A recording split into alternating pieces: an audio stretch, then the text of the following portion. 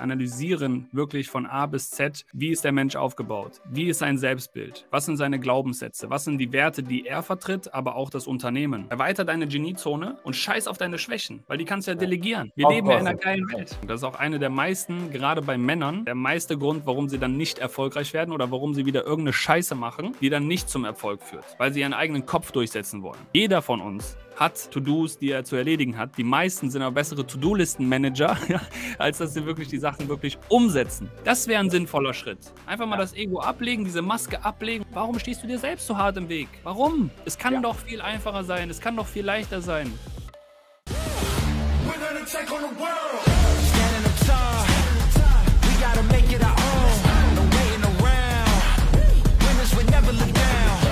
Wir sind live on air. Jawohl, dann sage ich erstmal herzlich willkommen, äh, lieber Basti. Und erklär einfach mal den Leuten, wer bist du, was machst du, wie sind wir zusammengekommen? Ja, hi Stefan, danke, dass ich hier sein darf. Wer bin ich? Ich bin Business Performance Coach Bastian Schmidt. Ich begleite Geschäftsführer, Unternehmer und ambitionierte Agenturinhaber im Wachstumsprozess und im Veränderungsprozess. Denn wer skalieren will, der weiß, da sind viele Hürden, viele Sachen, die auftreten und da muss man vor allem in der Persönlichkeit wachsen. Ja, die unternehmerische, unternehmerische Reise ist ein ständiger Iterationsprozess der eigenen Persönlichkeit und natürlich kommen da Performance-Probleme auf oder wie strukturiere ich mich richtig. Und das wird sicher richtig geil, geiler Mehrwert. Ich habe Bock.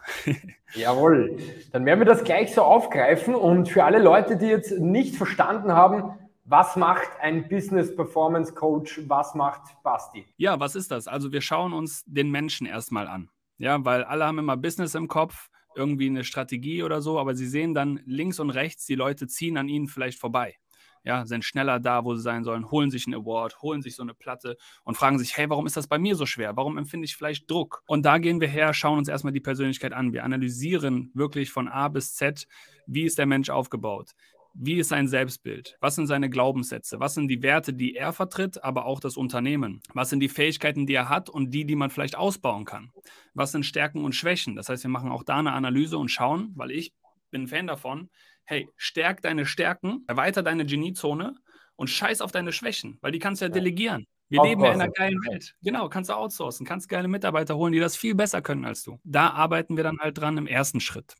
Im zweiten Schritt steht dann natürlich einfach der Ausbau dieser Stärken. Wir schauen uns die Performance an, wir schauen, wo gibt es da vielleicht Probleme und schöpfen wirklich das Potenzial aus mit einem fortlaufenden Business Sparring. Das heißt, ich halte meine Kunden verantwortlich für die Ziele, die wir gemeinsam setzen und gehen dann diesen Schritt Woche für Woche, Monat für Monat in einem Controlling, in einem Sparring, ja, wie beim Boxen, ähm, gehen wir da durch und äh, erreichen leichter und vor allem auch schneller die Ziele. Wenn du wirklich deine Identität mal richtig zerlegt hast am Anfang, analysiert hast, wie wir das machen im Coaching, und dann aufbaust zu einer richtigen Maschine, ja, das Allerbeste für dich beanspruchst, sagst, hey, ich bin großartig, ich erreiche Großartiges. Und damit meine ich kein Chaka-Chaka oder wir gehen jetzt auf ein Seminar irgendwie Bälle hüpfen oder sowas, ja. ja.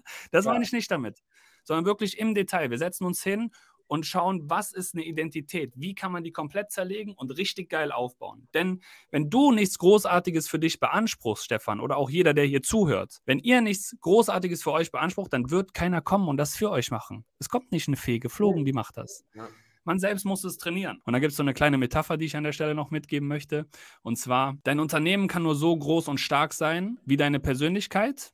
Denn wenn dein Unternehmen oder deine Persönlichkeit der Rahmen ist und das Unternehmen das Bild, dann passt eben nur eine so große, großes Unternehmen da rein, wie eben deine Persönlichkeit groß ist. Ja? Wenn der Rahmen, deine Persönlichkeit größer und stärker wird, dann kannst du auch ein größeres und stärkeres Unternehmen aufbauen, was skaliert. Da musst du auf dem Prozess nur verantwortlich gehalten werden. Das Leben ist viel zu kurz dafür, um sich mit irgendeiner Scheiße zu beschäftigen. Hol dir Coaches, hol dir kompetente Berater, wie zum Beispiel im Fitnessbereich den Stefan.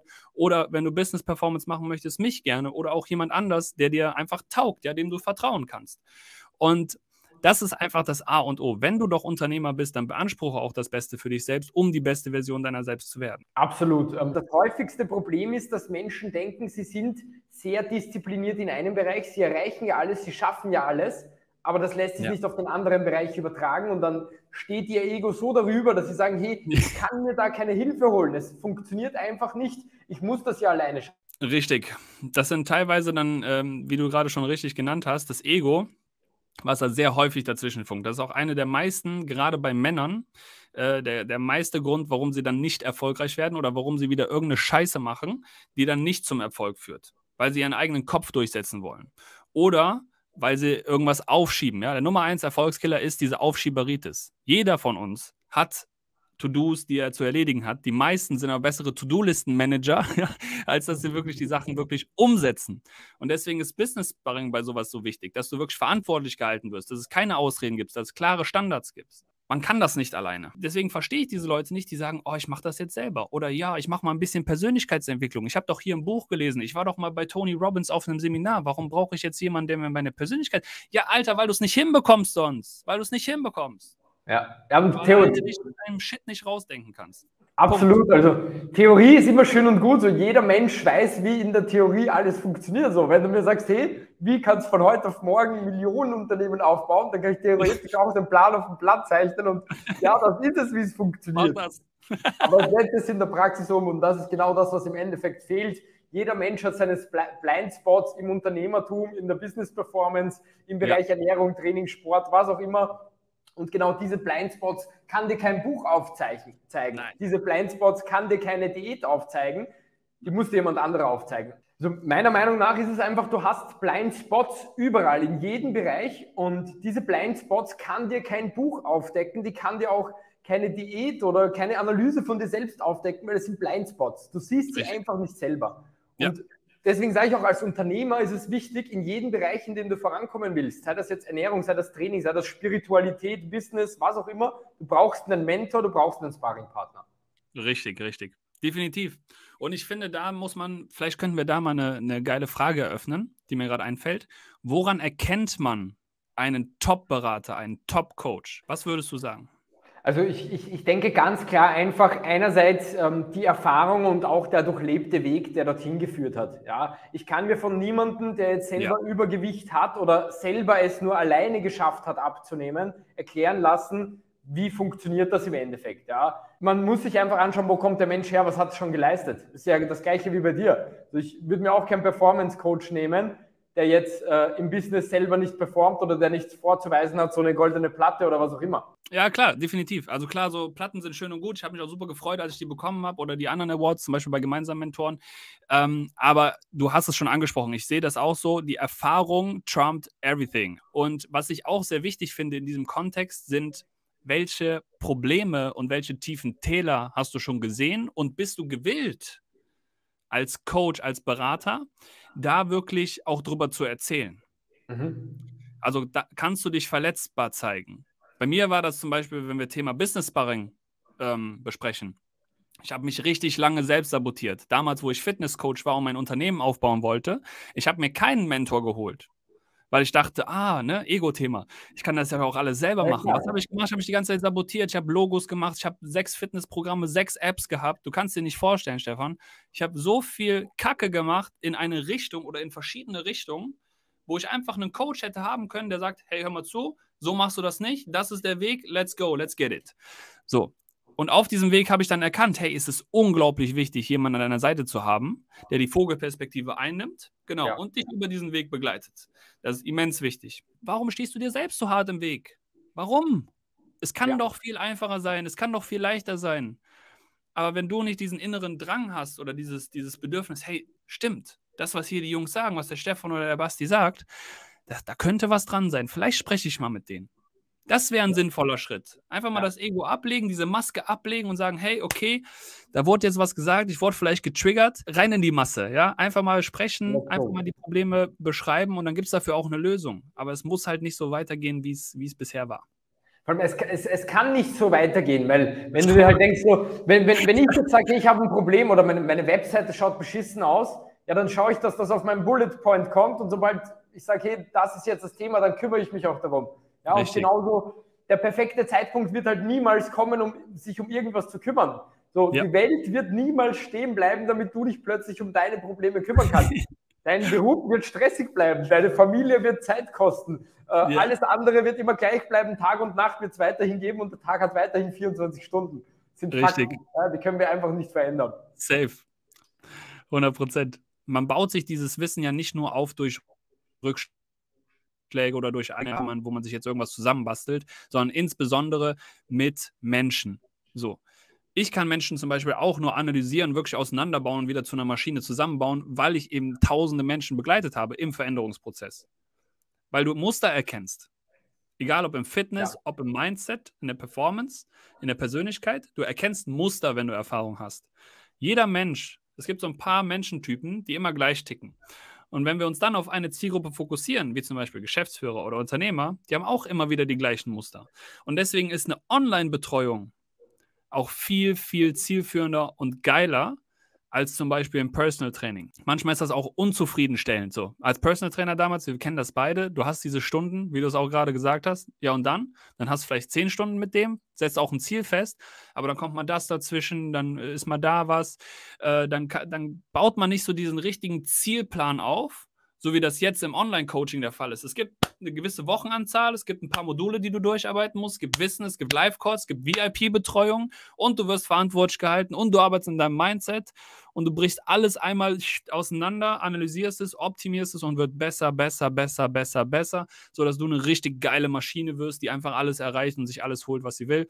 In deinem Fall eine geile Figur, einen flachen Bauch, ne, die ganzen Probleme weg und in meinem Fall eben ja, diese Maschine wirklich zu werden, vom Mindset einfach stabil zu sein und nach vorne zu gehen und diesen Wachstumsprozess zu beschleunigen und auch leichter werden zu lassen. Natürlich von unserer Ebene ist es jetzt leicht äh, heraus her herabzureden oder einfach zu sagen, hey, ihr macht was falsch, kümmert euch darum, das sind die mhm. Auslöser, ähm, das sind die Ankerpunkte. Aber jetzt zum Abschluss nochmal. Wenn jemand gerade Probleme mit seiner Performance hat im Business, hier irgendwie stagniert, was sind zwei der Top-Tipps, die du denen mitgeben würdest? Zwei der Top-Tipps, wenn du Mindset-Blockaden hast, wenn du deine PS nicht auf die Straße bringst, dann ist der Nummer eins Tipp, hol dir jemanden an die Seite. Ja, nimm Geld in die Hand und wirf das Geld auf das Problem, investier es in dich, ja, und es wird gelöst werden von Top-Coaches, von Top-Beratern. Geh zu Leuten, denen du vertraust, denen du die Kompetenz zusprichst.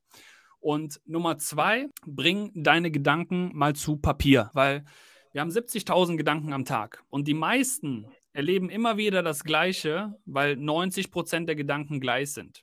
Ja, also musst du dir überlegen, knapp 60.000 oder 55.000 Gedanken sind immer gleich. Wahnsinn. Wie willst du da eine Besserung erzielen? Also für ein Journal oder schreib dir mal, nimm dir mal einen Blog und schreib dir mal deine Gedanken auf. Und dann kontrollier dich vielleicht selber. Hey, was denke ich davon eigentlich jeden Tag? Welche Entscheidung schiebe ich die ganze Zeit vor mir her?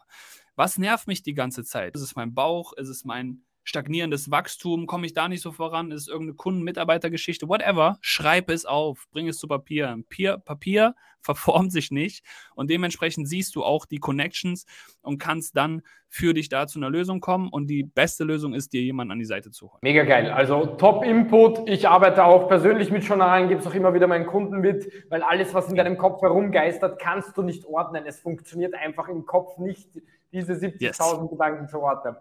Nein. Gut, du hast eine Sache angesprochen und zwar, du kannst dir Hilfe holen. Basti, wir sind jetzt am Ende angelangt. Wo kann man dich finden und äh, ja, wie komm, kann man dann am besten mit dir in Kontakt treten? Ja, wo kann man mich finden? Äh da kann man sich, weil ich arbeite auch nicht mit jedem zusammen. Das heißt, wenn du jetzt denkst, oh, ich, ob ich mit dir zusammenarbeiten will, ich auch wirklich ernst, weil ich sehr persönlich mit den Leuten zusammenarbeite, an ihren Mindset-Blockaden, weil es sehr intensiv ist. Ja, man baut das Ding auseinander, wenn du dich erinnerst von dem, von dem Interview. Man baut die Persönlichkeit auseinander. Man macht dich wirklich zur brutalen Maschine, die sich alles holt, was ihr zusteht und das mit Leichtigkeit, leichter vorankommen, nicht links und rechts schauen, was die anderen machen und sehen, oh, warum ist es bei denen so leicht und warum ist es bei mir so schwer. Das hat alles ein Ende. Das kann ein Ende haben auf bastianschmidt.com www.mindset.com. Bewirb dich da gerne, da machen wir ein Analysegespräch, weil du bist nur ein Mindset von deinem nächsten Durchbruch, von deinem Erfolg entfernt und du kannst die Nummer eins sein für dich, für deine Familie, für dein Unternehmen als Unternehmer. Mann, Geschäftsführer, Ehepartner, was auch immer. Und wenn du daran arbeiten willst, bastianschmidt.com. Hey Stefan, vielen, vielen Dank für die Einladung. Es war mega geil, hat mich mega gefreut. Und danke, dass ich hier sein durfte. We're gonna take on the world.